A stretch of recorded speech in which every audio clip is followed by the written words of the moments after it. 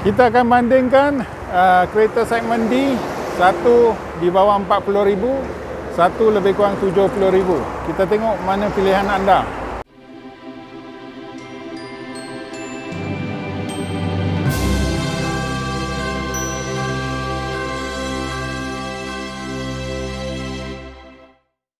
Kita mulakan dengan Nissan Tiana dulu. Warna putih eh, warna putih. Kita tengok spek. Tahun uh, 2011. 38,800. Kereta ni masih dalam keadaan sangat-sangat baik. Ha. So kalau anda mencari, sedang mencari sebiji kereta segmen D, anda nak jalan jauh, anda nak mewah, anda nak sedap di highway, anda nak keluarga selesa, inilah kereta dia di bawah 40,000. Saya pun akan pilih kereta ni sebab saya pun ada dapat bawa sebiji. Saya tunjukkan uh, rupa belakang dia. Ini ialah Tiana yang uh, versi sebelum yang ini eh. Ha. So tengok, ini rupa belakang dia saya tak boleh pergilah pagar. Pagar kan saya malas nak keluar kereta sebab parking dia ngam-ngam saja sempit-sempit sana dengan sini so saya tak berani lah kita orang.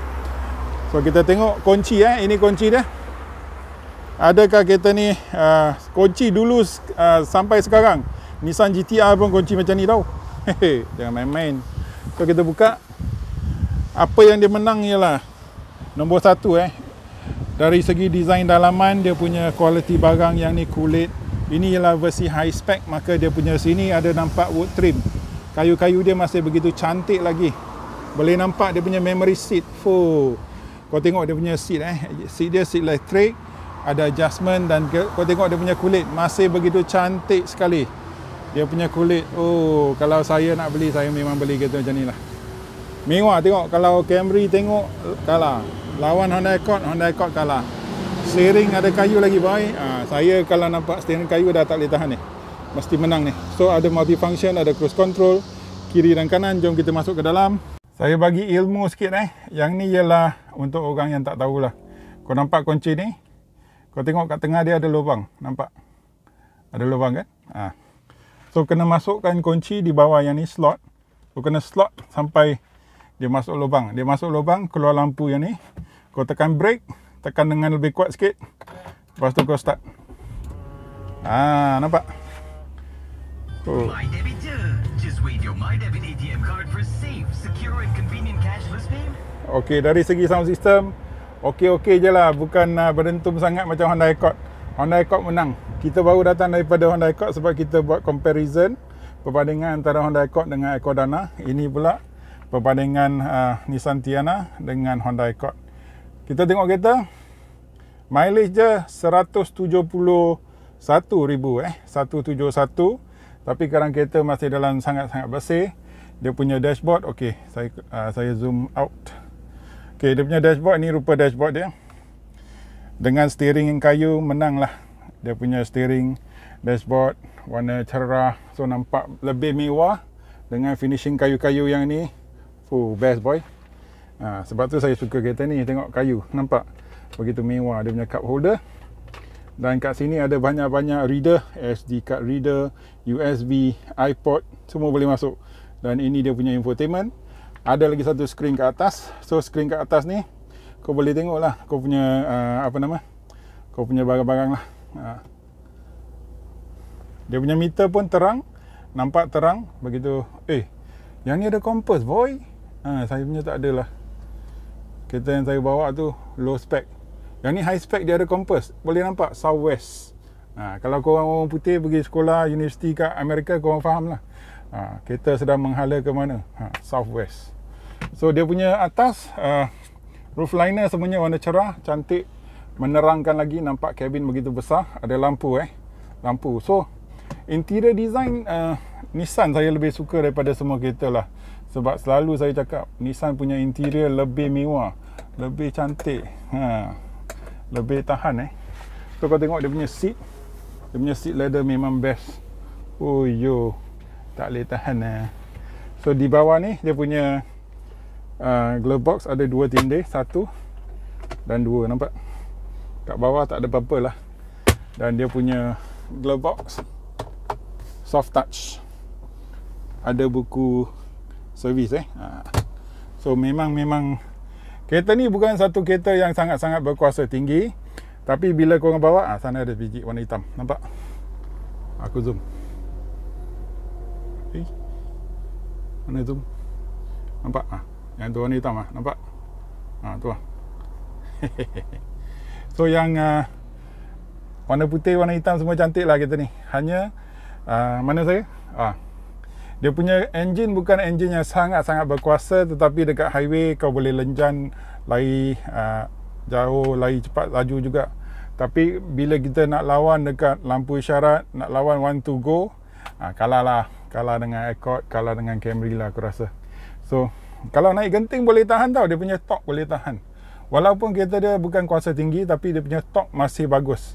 So bila naik kita tak rasa dia macam uh, lembab Ha, saya pun terberanjat. Okey, kita tengok belakang pula. Okey, belakang dia macam ni eh. Belakang dia pun tak kalah orang.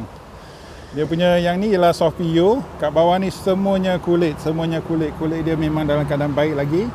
Ada kayu dan ada uh, chrome, uh, setting chrome eh. Door handle pun setting chrome. So, saya nak masuk. So, tengok eh. Bila lampu dia buka, oi memang mewah lah.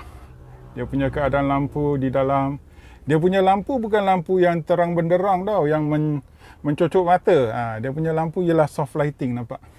Sebab tu saya kata Nissan punya interior lebih mewah daripada Honda dengan Toyota.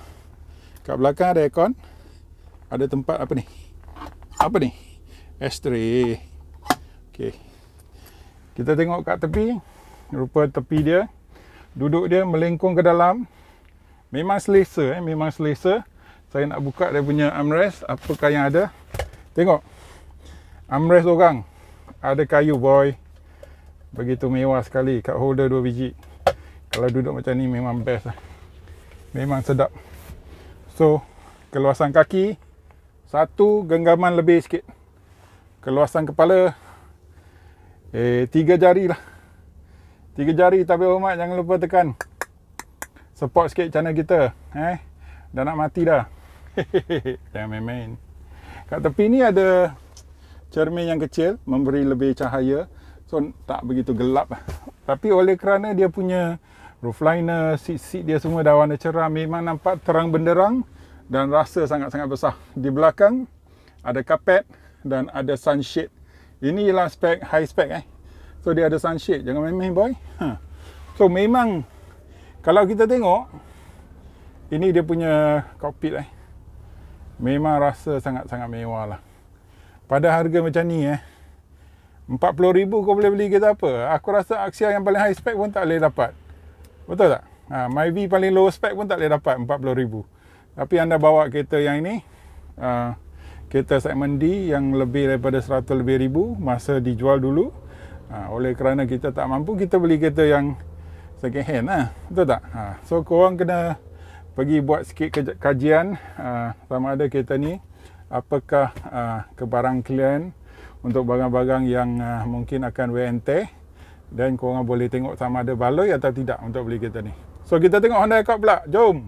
Lagi satu eh masa kita tutup kereta, kita off kereta dia punya seat akan ke belakang supaya kita boleh keluar dengan lebih senang. Habis lepas tu masa kita start kereta, seat akan kembali ke posisi asal di mana kita duduk eh. Itu yang kelebihan dia tu. Okey, boleh buka boot daripada sini. Kita cuba. Okey, bagus. Kita buka eh. Eh, ini ialah 250 lah, engine V6 lah. Dia tulis salah lah. Inilah spek 2.5. 2.5. Boot dia besar gila. Nampak? Sampai ke dalam. Itu dia punya pass through lah. Ha besar boot dia memang besar. Saya boleh masukkan pelbagai jenis sampah dalam masih boleh masuk lagi bang. So bila dia 2.5 uh, aku jalan sana lah aku tak boleh lepas. 2.5 siapa nak GTI ada sebiji. Yang minat GTI ha. jangan lupa tekan loceng. Ok so 2.5 dia tulis 2.0 dah salah. Yang ni ialah 2.5 eh. 38,000 ha. so lebih baloi. 2.5 datang dengan enjin V6 kelebihan enjin V6 ialah enjin dia lebih lancar. Very smooth. Seperti perdana V6 memang sedap bila bawa jalan jauh high speed uh, gear kelima keenam tak rasa lah.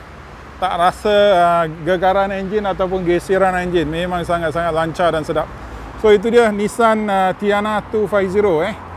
V6 kita tengok Honda Accord pula. Jom ok kalau korang ada duit sikit korang boleh beli Honda Accord generasi yang uh, sebelum yang ini so ini ialah Honda Accord lebih kurang uh, kita tengok berapa harga dia Honda Accord tahun 2014 uh, 73,000 eh. Ini ialah 2.0, 2.0 relax. Uh, jangan jangan tergesa-gesa ini rupa dia. Nanti saya masuk longkang. Saya nak tunjukkan lagi dua kereta segmen D. Iaitu Honda Accord lagi sebiji. Tahun 2013. Ini dia. Tahun 2013, apakah harga dia? 66,000 eh, 66,000 dan saya nak tunjuk lagi sebiji kereta segmen D iaitu Akordana rim dah cantik tahun 2016 ini ialah 2.0 juga 68,000 uh, 68,000 je so kenapa saya nak tunjuk Honda Accord berlawan dengan uh, Nissan Tiana sebab Honda Accord pun lebih kurang eh bukan lebih kurang Honda Accord pun dalam segmen yang sama Accordana pun dalam segmen yang sama so maka inilah kereta-kereta yang kita boleh beli uh, dalam segmen D. Ada Camry tak? Saya tengok sekejap eh. Okey, tak ada Camry tapi saya tunjukkan lagi satu kereta yang lebih kurang macam kelas dia. Ini ialah Mercedes uh, E280 eh tapi lama sikit, tua sikit. E280 3.0 tahun 06 07 31,000 sahaja. So bila kita tengok macam ni, kereta yang uh, lebih mahal maka dia lebih tua lah pada harga yang 30,000 betul tak? so banyak orang yang suka ikhlas juga ini ialah apa? Uh, big eye small eye dia orang panggil dalam bahasa Inggeris lah dulu so saya tunjukkan belakang dia